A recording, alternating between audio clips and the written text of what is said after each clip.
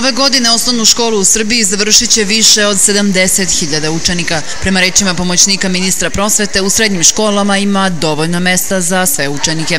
Pre upisa male maturante čeka završni ispit, koji će biti najteži do sada, s obzirom na to da će biti 75 od nepoznatih zadataka i 25 od sa izmenjenim redosledom odgovora ili brojevima u odnosu na zadatke iz zbirke.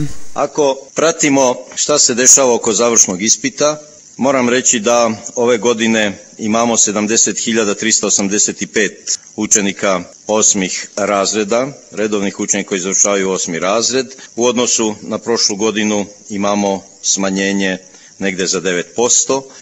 Koje su upisne kvote ove godine? E, gimnazije 22%, kada su u pitanju srednje stručne, dakle 59%, E, treći stepen 16%, jedno i dvogodišnje, kada su pitanju specijalne škole, 1% i umetničke 2%. Ukoliko oglede, a njih imamo negde oko 19 koji su na pragu da se prevedu e, u redovan sistem, to bude učinjeno, onda ćemo tu imati povećanje još 9,2% kada su u pitanju e, te kvote.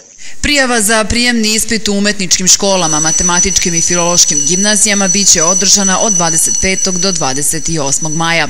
Prijemni ispiti za sve učenike biće organizovani 6., 7., 8. i 9. juna, dok će rezultati prijemnih ispita biti objavljeni do 14. juna do 14 sati. 17. juna učenici će polagati završni ispit iz srpskog, odnosno maternjeg jezika, dok će 18. juna polagati završni ispit iz matematike.